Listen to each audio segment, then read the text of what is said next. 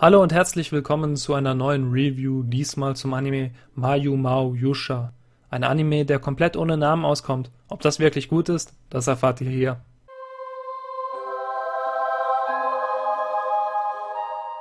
Die Geschichte beginnt, wie sonst eine Geschichte enden würde. Der Held hat sich durch Massen von Dämonen gekämpft und das Schloss des Dämonenkönigs erreicht und will diesen töten, um den langwährenden Krieg zu beenden. Doch im Schloss angekommen, findet der Held nur ein gut aussehendes Mädchen, welches sich als die Dämonenkönigin herausstellt, und sie überzeugt ihn, dass das Ende des Krieges sowohl für die Menschen als auch die Dämonen negative Auswirkungen hätte, die schlimmer als das Ende des Krieges wären. Somit kämpfen sie fortan gemeinsam für eine bessere Zukunft, bis die Welt bereit ist für ein Ende des Krieges.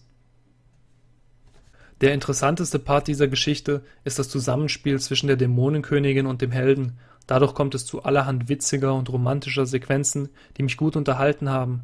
Doch ist das nicht das Hauptaugenmerk des Animes, denn er legt großen Wert auf die politischen und wirtschaftlichen Aspekte und zeigt in einer leicht abgewandelten Art, wie wir uns vom Mittelalter in die Neuzeit entwickelt haben. Dabei bekommen wir den Fortschritt der Kartoffel oder die Vierjahresbewirtschaftung zu sehen und immer beginnt die Innovation mit der Dämonenkönigin. Teilweise hatte ich das Gefühl, der Anime verfolgt einen unterschwelligen Bildungsauftrag, Kämpfe oder Action gibt es in diesem Anime so gut wie gar nicht und bis kurz vor Ende wird immer nur über den Kampf geredet, doch man bekommt ihn nie zu sehen.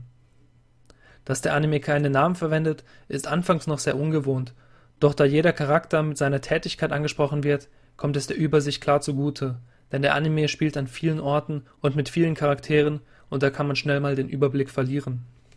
Ich finde, der Anime hat seine Stärken ganz klar verspielt, die Dämonenkönigin fand ich eine tolle Charakterin und sie harmonierte super mit dem Helden, doch dieses Verhältnis wird nicht weiter ausgebaut. Auch die Tatsache, dass in dieser Welt Dämonen existieren, wird nicht ausgearbeitet und lange weiß man gar nicht, wie die Dämonen überhaupt aussehen. Die wirtschaftlichen Aspekte hingegen sind schön in den Anime eingefügt, wirken für mich auf den Unterhaltungsfaktor aber eher negativ. Und wenn man den Anime herzieht, um jemandem beispielsweise geldpolitische Zusammenhänge zu erklären, geht der Anime doch nicht genug ins Detail und die Fantasy-Elemente sind dafür doch noch zu groß. Dafür bekommt der Anime von mir 72 von 100 Punkten. Jeder, der mal einen Anime mit starken wirtschaftlichen Aspekten schauen möchte, sollte hier mal vorbeischauen. Alle anderen könnten sich bei diesem Anime etwas langweilen. Und damit tschüss und bis zum nächsten Mal.